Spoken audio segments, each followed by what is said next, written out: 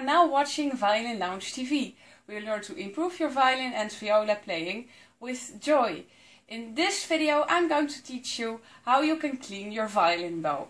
Well, the most simple way to do this is to tighten your bow a bit.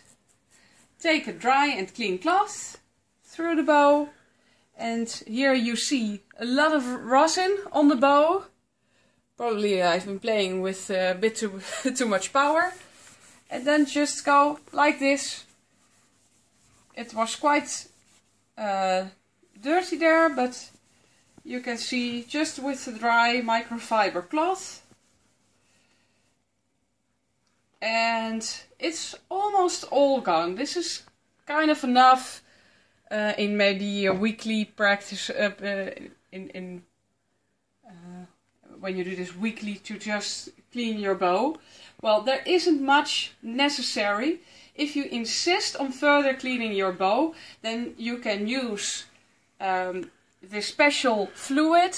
I will post a link below to where you can buy it. Um, but be careful that it's, the fluid doesn't go on the hair of the bow, so be very careful. If you want that the fluid doesn't go on your bow, you can better just put the screw all the way to the left and then you will notice like you loosen the bow but then a lot further and here you have this in your hand and then you can uh, remove the frog from the bow. Uh, then it's easy to uh, take a special fluid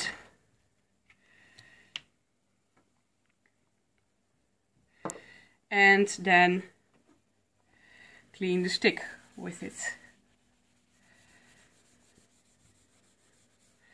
Then, of course, let it dry so it doesn't go on the hair when you put the hair back.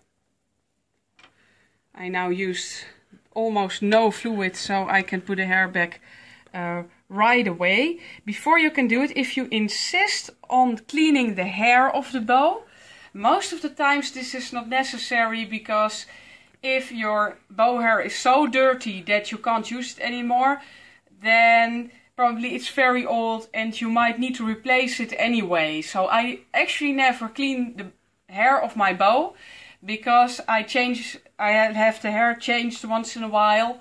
Um, so, so, so the bow has uh, a good response and then it's not necessary to clean it in the meantime. If you insist on that or something happens that the bow hair is dirty, then take a toothbrush, put some alcohol on that, and then uh, brush the hair like this with the toothbrush with alcohol on it.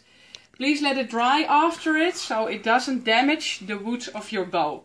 Um, and the, the, the polish on that. So make sure that the hair is all dried out before you put it back. If you want to put back the frog, of course, take a look that the hair is straight.